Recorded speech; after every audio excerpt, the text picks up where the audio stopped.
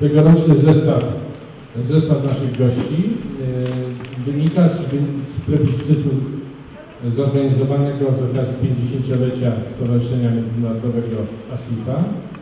E, I mm, panie, które dzisiaj wystąpią, duet twórczy z Kanady, pani Wendy Tilby i Amanda Forbis są laureatkami tego plebiscytu.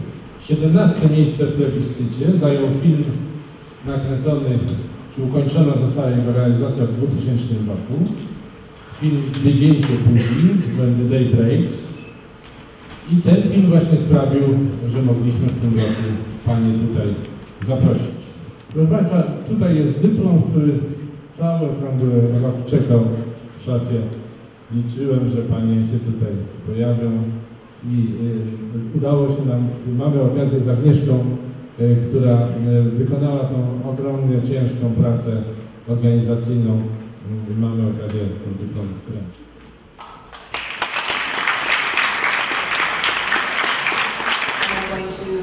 talk a lot about uh, ideas and inspiration, as well as do a, um, uh, a live uh, demo of the rendering rendering technique for When the Day Breaks.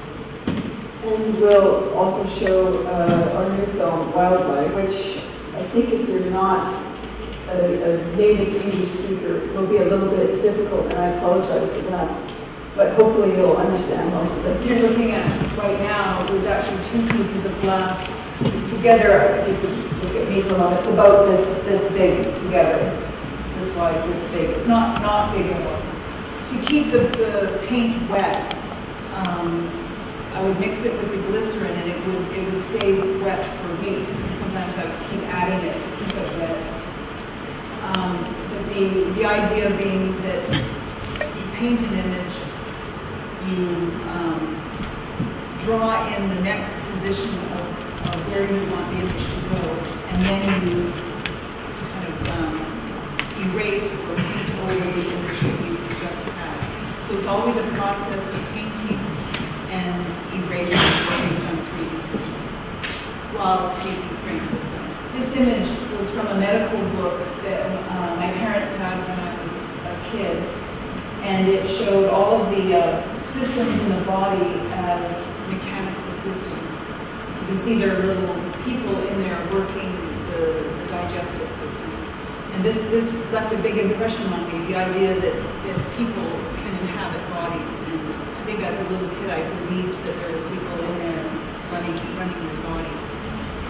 This image is of a piece of fruit on the road, and this was an image that was on the wall in my office and it, it inspired the idea of um, someone's life being out on the road uh, in the form of groceries. That groceries, what you buy is, is a way of defining a person. When you look at what's in somebody's um, basket when they're in a grocery store, you can learn a lot about them. He took images from medical books and them on a photocopier and then painted on top of it. That's a nerve cell, just to show his, uh, his physical, physical, abstract physical parts. Uh, these are his the ancestors of the chief.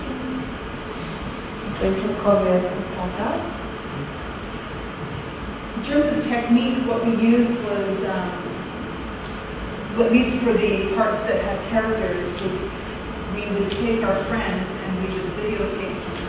Uh, in this case, we had a friend of ours wearing this theatrical.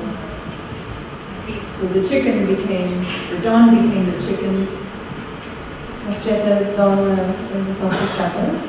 Another friend became świnką. Uh, two weasel friends became weasels. Dwójka innych przyjaciół są kolejne This is a postal truck that we used to become an ambulance. Tylko jest z kolei wykorzystaliśmy na ich podstawie nasz ambulans. This is a television show uh, called Law and Order, I don't know if you know it, that we used for the accident scene. To kolei serial o tytule Law and Order, który wykorzystaliśmy przy tworzeniu sceny wypadku. The city, um, we, it was a difficult thing in this technique to show long shots, and so we used this technique of painting cities, cityscapes on postcards, and moving that under the camera. And it was very important to us to have a, a sort of a very gray, um, almost uh, dark city, um, and especially in contrast with this shot, which is more colorful, which is about the country. And that was one of the uh, themes that evolved as we worked on it, was the idea of the city being a big, dangerous place, and that these animals who live in the city um, might long for going back to the country where they think it is safer. It probably isn't safer, but it's, it's an impulse we have uh, when something bad or scary happens, like a car accident. Very peculiar circumstances.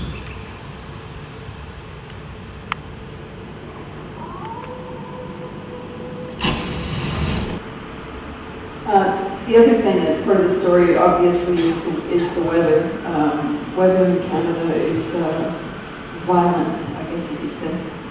And also the comet. Uh, in case you were wondering about the comet, Halley's Comet appeared in 1910, and we were researching the times to see what needed to be added into the story. And we liked the comet, and we felt that it was an interesting metaphor for our character. So uh, we animated it in Flash, Wykonywaliśmy animację przy użyciu technologii Flash, printed it out, and painted it with gouache. drukowałyśmy je i następnie malowałyśmy na tych obrazach. and then composited it in the computer. Z powrotem wprowadzaliśmy do komputera. Some shots were painted uh, in just as a, a single frame in their entirety, so they were not composited in the same way. Nie- Niektóre z ujęć były malowane, tworzone w inny sposób.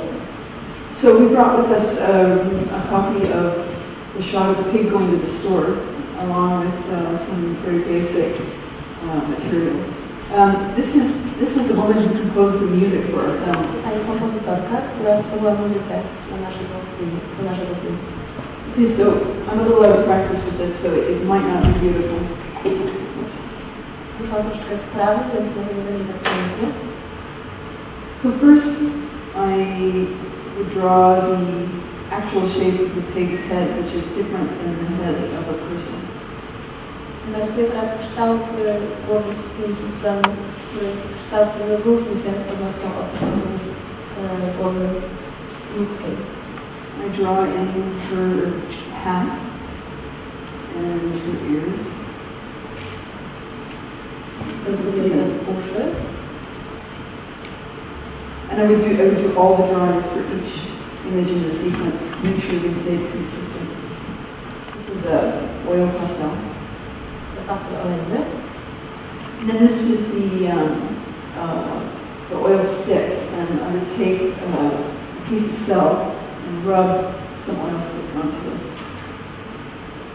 In the finger, I will start to put it on the character. Now, the nice thing, sorry. I przy pomocy palców teraz naniosę kolor biały na, na postać.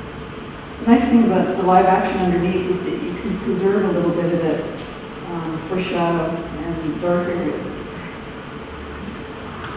Co bardzo mi się podoba w wykorzystaniu techniki live action, czyli gry aktorskiej, to, że można zawsze troszeczkę jej użyć przy tworzeniu już samej animacji.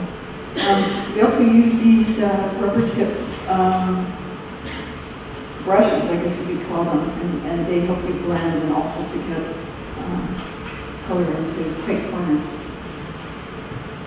Wykorzystywałyśmy również pędzelki zakończone gumą, które pomagały na równe rozprowadzenie, pomagały nam równo rozprowadzać kolor.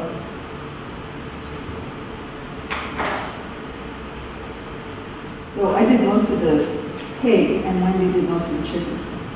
Ja pracowałam głównie nad postacią świnki, natomiast pani Wendy robi nad postacią kurczaka. and a little more um, opaque in the areas of her head that I need to erase.